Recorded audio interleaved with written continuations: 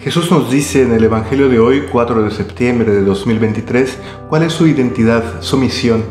Él es uno en quien el Espíritu del Señor se posa. Ha sido ungido para llevar a los pobres la buena nueva, para anunciar la liberación a los cautivos y la curación a los ciegos, para dar libertad a los oprimidos y proclamar el año de gracia del Señor. Démonos cuenta que bastó que Jesús leyera, proclamara esta palabra aplicándola a sí mismo para causar división en sus oyentes de la sinagoga. Unos lo aprobaban y admiraban su sabiduría, otros se llenaron de ira y buscaban darle muerte. Pero ¿por qué el mensaje de Jesús causa tal división?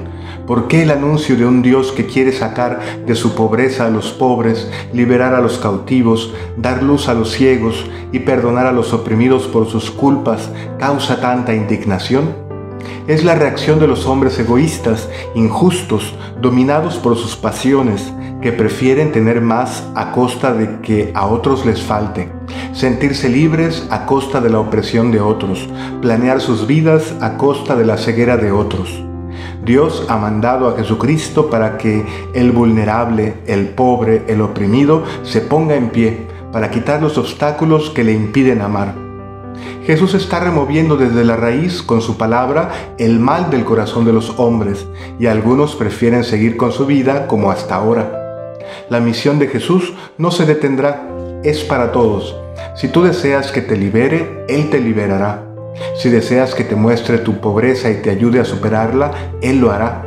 Si deseas su luz que te ayude a proyectar tu futuro hasta la eternidad, te dará su luz. Si deseas reconocer el pecado, los vicios que te oprimen y doblegan, Él te dará su perdón para salir de ellos.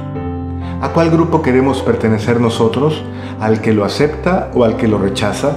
Al que acoge su palabra sin modificarla o al que se conforma con placar su conciencia con unas prácticas religiosas? Quien acoge a Cristo recibe bendición tras bendición, sin olvidar que también se convertirá en signo de contradicción. Quien se aleja de Él se aleja de la fuente de la vida, de la alegría y de la paz. Paz y bien, que Dios te bendiga.